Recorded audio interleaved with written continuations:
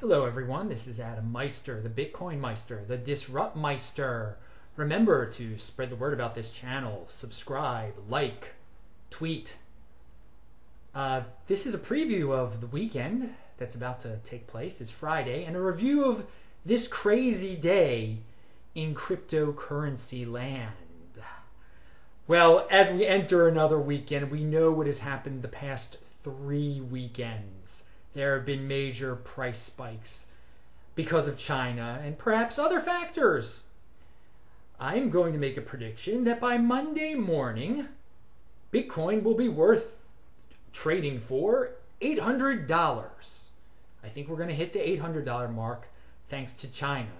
Right now, I think we're below 750 because of all the excitement from today that I will soon cover. I want to remind everyone that on Sunday night, it will be Monday morning in old Australia, and they will start the 24,000 Bitcoin auction. And they will auction off the Bitcoin in groups of 2,000 Bitcoin. So different people can win each group, or someone might win every single one. And I believe that is what will happen. Um, it will take two days. We are not going to find out probably until Wednesday morning. It will end Tuesday night our time, but we're not going to find out till Wednesday morning. Who knows who what information will even leak by then? I will predict that the Bitcoin will be sold for a thousand dollars each, and that that could leak, and it might boost the market up to that. But I am pretty sure someone is willing to pay that much uh, for 24,000 Bitcoin, pay a $1,000 each. I, I think an entity of some sort will want to get their hands on Bitcoin that badly. By the way, I watched Bloomberg the other day, and I don't, you know, it was on the it was on the internet. I'm not a mainstream guy, but you you you, Google um, you Google Bitcoin, and yeah, you see a Bloomberg thing. Why not? Anyway, they covered the halving and that was part of my prediction back in January that we would get to $700 because of the halving and that mainstream media would start to cover the halving. Now, I was wrong about, well, hopefully I'm wrong about one thing. I thought by the end of this year we'd be back down to 600 again. So, hey, I'm not perfect. Let's hope it doesn't happen. I don't want that to happen, but that is what I predicted originally if you do watch that classic video of mine from January. But I am proud about the predictions that I made. Um, speaking about uh, things you can watch or listen to, I listened to Andy Hoffman's podcast yesterday. He works for Miles Franklin. You can get precious metals for him, from him. And again, I'm talking about him a lot these days as I found out that he likes Bitcoin. He's one of the first major gold people to get on the Bitcoin train. And his podcast is excellent. It talks about how people should people should have gold, but not everyone can have gold. It's just because there's a lot of reasons. If you're in the middle of Africa, you can't just get gold. Let's I'm just giving an example. You're in the middle of Paraguay, but you could get Bitcoin. So Bitcoin is a store of value, a store of wealth for everyone. People who cannot get their hands on gold, because not everyone's going to be able to get their hands on gold. He points out. He, he wants everyone to get their hands on gold, but no, that's not going to happen. Um, another thing that he points out that I have pointed out here before, and I, I want to be very specific about it, is to follow China's economic lead. Uh, the, I don't like the Chinese government at all. The Chinese people, on the other hand, are good people.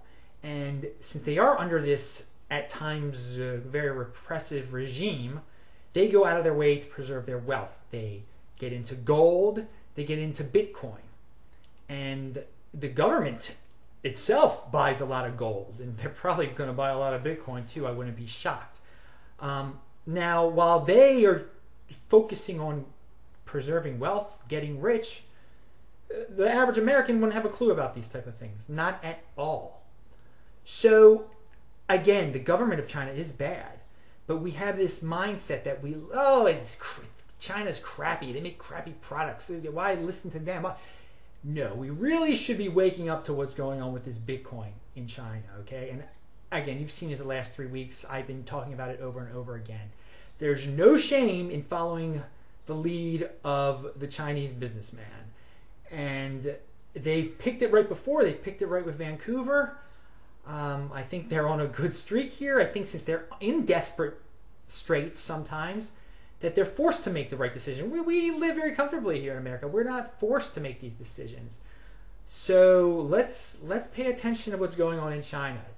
Always pay attention. If if you learn one thing from this channel, pay attention to what they're what they're doing over there.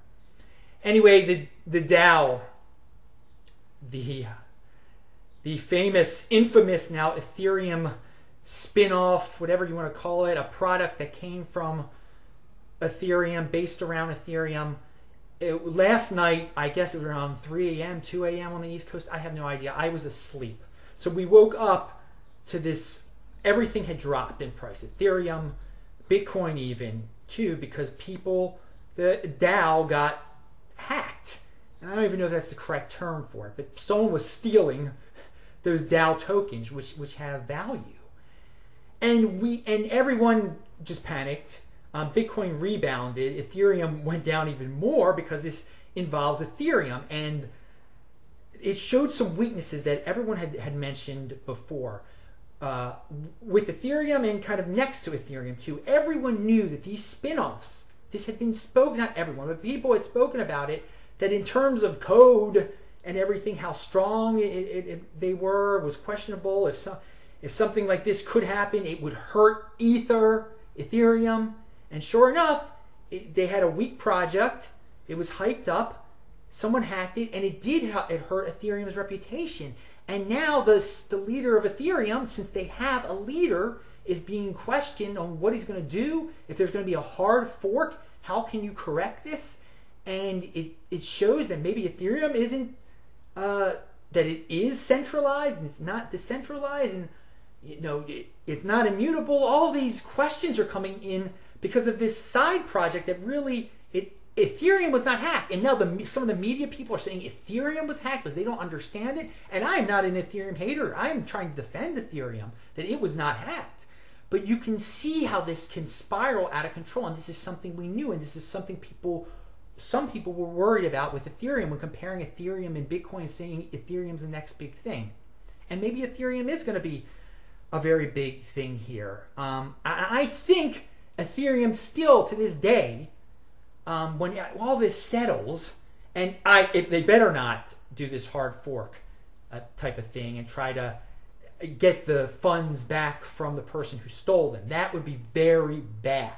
Okay, they they should not. That will hurt Ethereum. Okay, but if they don't do that and they just do nothing, they they don't need a bailout. That would be a bailout. They they should do nothing. Ethereum is worth you know between two percent and 3% of a Bitcoin. Just like I believe Litecoin should be around 1%. There should be a penny version of Bitcoin. I think that's what Litecoin is. Could be a backup. This is very much like Bitcoin, Litecoin. And Ethereum could be this cool new thing that's a little different that does all these different things. And it would be around 3% of, the, of, of Bitcoin, maybe between 2 and 3%, maybe more than 3%. I don't know. That's The market has priced it around 2%. Now it's below 2% after this after this panic that's that's going on out there. And anyway, this is an opportunity for Litecoin to step up and say that hey, we're simple. We don't do all these Ethereum things. We don't have to worry about all of this. And by the way, again, Ethereum went down pretty low today. Then it kind of it crashed, went back, went back and forth, and now it's low again. But Ethereum has some big players that are interested in it. Okay, we've all heard about the, this rumors, Wall Street type people. I don't even know. Who knows how true it is? But we're going to soon see how big these players are, okay? If this thing totally bounces back really fast during a still controversial period, then they've got some really big uh, players out there behind them. Uh, I want to also mention quickly, you know, uh, and this is going to be another video. I have a, like a rule. It's called Adam's final product rule. If you want something out there, if you want Bitcoin, you want the final product. You want Bitcoin. You don't want Bitcoin mining. You don't want cloud this, cloud that. You want Bitcoin. There's no need to complicate it. We'll do another video on that. But it's you want the final product always. Anyway, there's been incredible volume on uh, Bitcoin and Ethereum. Um, people flocked to Bitcoin in panic when they were selling the Ethereum, which is a good a good sign that Bitcoin is safety and people aren't going into the dollar as much as they used to. Um, you never know when a week and a weekend is about to get totally crazy like this in Bitcoin land. So who knows what this weekend is going to bring? I think it'll bring $800. I'm Adam Meister. Take care.